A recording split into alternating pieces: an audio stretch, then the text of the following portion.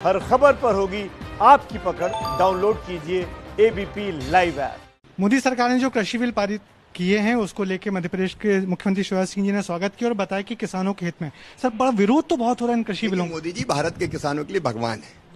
ये तीनों बिल किसानों की ज़िंदगी बदल देंगे आय दुगनी करेंगे। आखिर आपत्ति किस बात की है?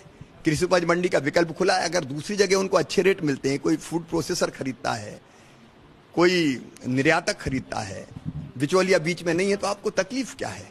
अगर किसी को गारंटी मिल रही है कि फ़सल के पहले ही बोते समय ही पता चल जाए कि इतने रुपया प्रति क्विंटल मेरी उपज बिकेगी तो इसमें आपको आपत्ति क्या है? इसमें है क्या आपत्तिजनक?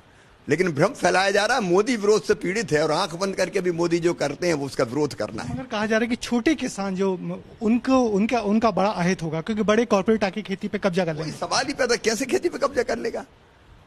कैसे कब्जा कर लेगा? केवल खरीदेगा? खरीदेगा भी किसान की मर्ज़ी से खरीदेगा? और खरीदने के बाद एक दिन में पैसा देने की बाध्यता है?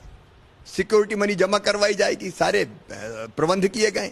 मध्य प्रदेश सरकार जन जागरण करेगी या इसको लेके जो विरोध मध्य प्रदेश सरकार तो जन जागरण करेगी। ज़ोर शोर से हम तीनों बिल लागू करेंगे क्योंकि किसानों के हित में है और मध्य प्रदेश में हम प्रसन्न है किसान प्रसन्न है। बहुत बहुत। ये थे मध्यप्रदेश के मुख्यमंत्री शिवराज सिंह चौहान, जिनका कहना है कि किसान प्रसन्न है इस बिल से, और इसलिए यहाँ जन जागरण भी करेंगे और जल्दी से जल्दी उसको लागू भी करेंगे।